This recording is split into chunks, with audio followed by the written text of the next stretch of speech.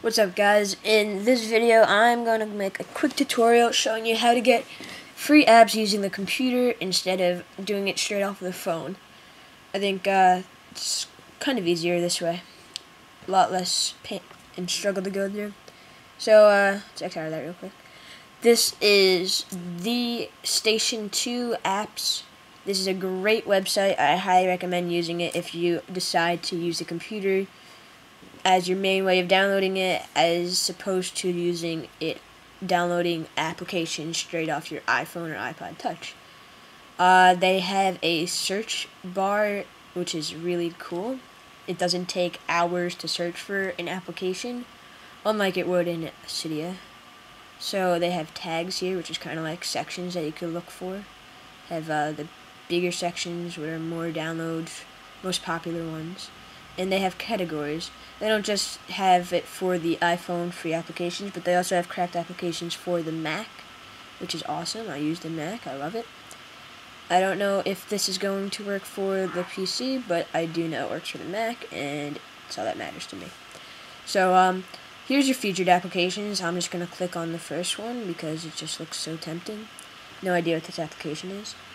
But, um, wait for it to load. I'm going to click find the download links. There comes up an annoying pop-up. I have no idea where that's coming from. But uh, I'm going to click download links. Hopefully it'll stop. Yes, it does. Um, you scroll down a bit.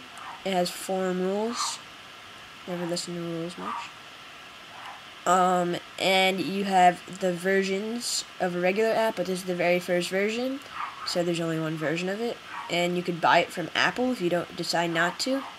I don't know, give Apple a little donation. I'm sure they make plenty of money a year.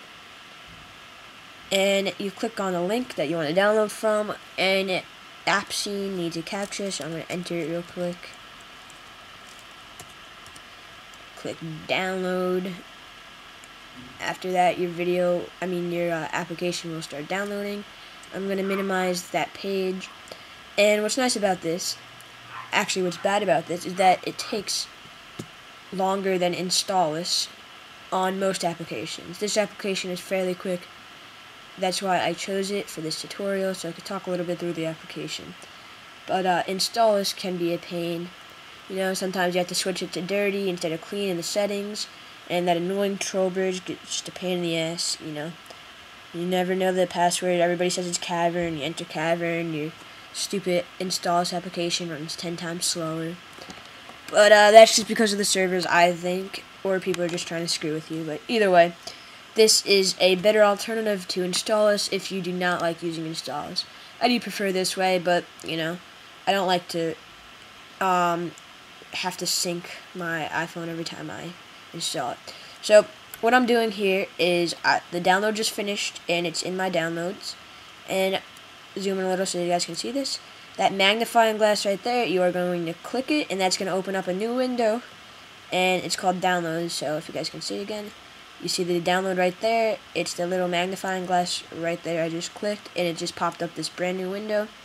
So from this window, what you're going to do is click and drag your brand new application download into your desktop, and then from your desktop, X out of downloads, you could do that, that's fine open up iTunes, and you know iTunes usually opens up the full length of your uh, desktop, so I'm just gonna minimize it a little bit, and it usually opens up on music, so I'm gonna go into applications.